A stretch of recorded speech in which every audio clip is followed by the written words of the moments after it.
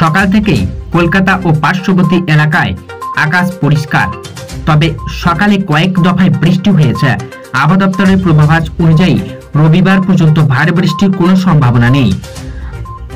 আজ সকালে আবহাওয়া দপ্তরের পূর্বাভাস অনুযায়ী আগামী আটচল্লিশ ঘণ্টা, অর্থাৎ শনিবার সকালে উত্তরবঙ্গে কোথাও ভারী বৃষ্টির কোনো সম্ভাবনা নেই।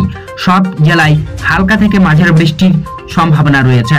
হিমালয় সংলগ্ন রাজ্যের তাপমাত্রা পরিবর্তনে কোনো সম্ভাবনা নেই বলেও জানিয়েছে আবহাওয়া দপ্তর। শনিবার সকালে দক্ষিণবঙ্গের জেলাগুলিতে হালকা থেকে মাঝারি বৃষ্টির সম্ভাবনা রয়েছে। আবহাওয়া দপ্তর জানিয়েছে, রাজ্যের গাঙ্গীয় জেলাগুলিতে তাপমাত্রা কোনো পরিবর্তনের সম্ভাবনা নেই।